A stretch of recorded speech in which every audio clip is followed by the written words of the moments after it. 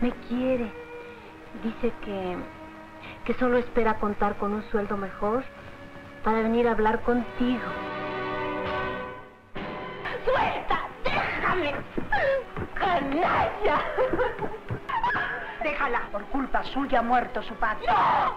¡No, no es por mi culpa! ¡No es por mi culpa! Desde la Filmoteca de la UNAM, La Mujer del Puerto. Jueves, 20-30 horas.